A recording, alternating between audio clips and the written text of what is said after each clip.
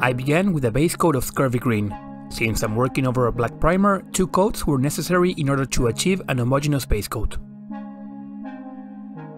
To start feathering, I'll rinse my brush and allow a paper towel to soak the excess water. Though you'll see there's still moisture in there. Catching just a pinch of paint on the tip of my brush, I'll feather it through a zigzag downward motion, where the moisture on the belly of my brush will be the one to create a transition as the paint runs low and only water remains. I chose this model specifically due to all the flaps it has. It is a perfect canvas for me to go around practicing on a realistic surface, in contrast to let's say practicing on something flat such as a base. While that might be easier and a great way to get a hang of how much paint to use, it won't be enough preparation when it comes to the different surfaces you'll encounter among a wide variety of models. One could also apply said small amount of paint separately, quickly rinse and soak excess water from the brush and proceed to work the paint around through the same zigzag motion.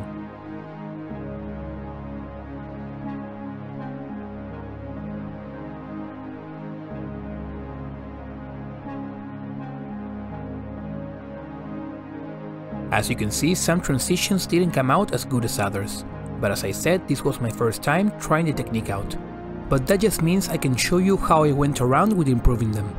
On one hand, I applied further layers. I also didn't limit myself to a single technique. Diluting some emerald and removing excess paint on a paper towel, I applied a simple glaze, pulling the paint towards where I want it to be the strongest.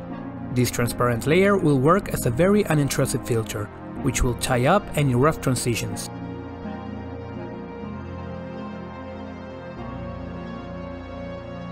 And the same thing was done the other way around but with Scurvy Green. The only important thing here is that wherever I finish my brushstroke is where more paint will deposit, so I want to start on the transition and finish on the same color I'm applying.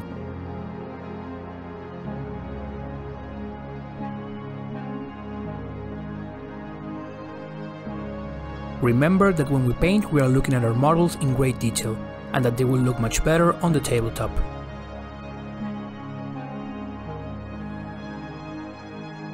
Having worked around the whole model in the same manner, this first layer ended up looking like this.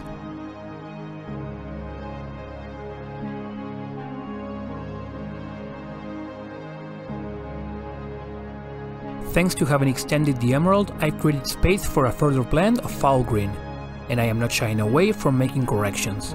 If mistakes happen or the blend doesn't come out as I'd like, as long as I don't panic, quickly clean my brush and remove excess water, I can work around the floppy feathering just as I did when applying the paint first and blending afterwards. There is no point in just showing you the technique coming out good, since I know that mishaps are bound to happen when trying out something for the first time. So it is important to also show you how to approach fixing said mishaps.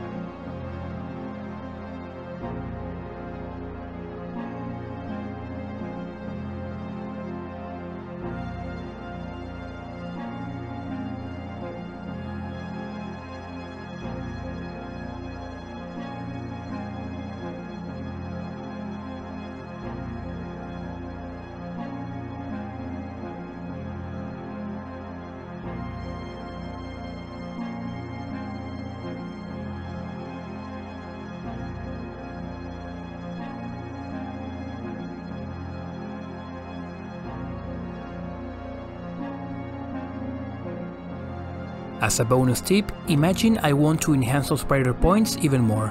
While common sense would tell us to add a lighter color into the equation, we can also consider darkening the shadows even more. This I did by mixing a bit of black into my initial scurvy green, and feathering very lightly into the shadow areas to up the contrast.